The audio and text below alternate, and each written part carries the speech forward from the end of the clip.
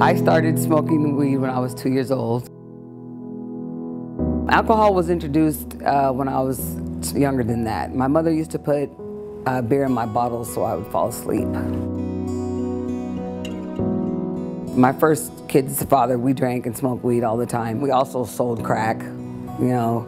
I was feeling like this is the way it is, this is what's supposed to happen because that's what happened generation to generation. That's what it was. And I thought, you know, I was doing the best I could do for my kids.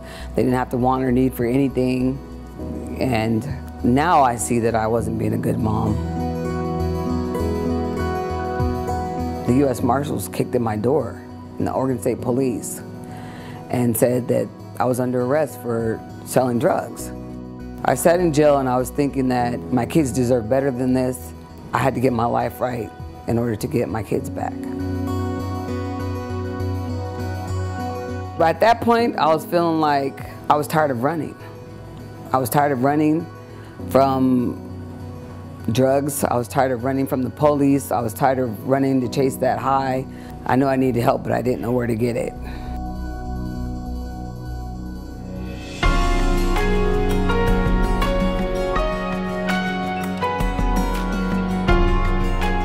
Three weeks after being here, we had a community meeting.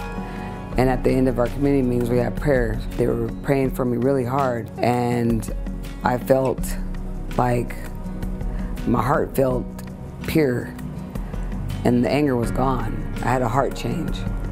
And I knew from that point on, I wasn't the same person that I was when I first came in here.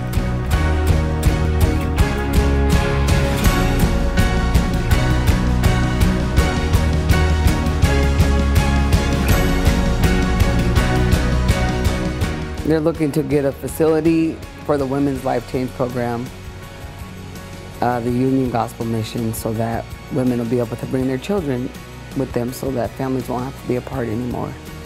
I want my kids with me so that they can learn some of the new things that I've learned here and that and to know that you don't have to sell drugs and you know that God is a big is the biggest part of our life that they need Jesus like I found him. So I want my kids to know that there's a better way to life than the way I was showing them.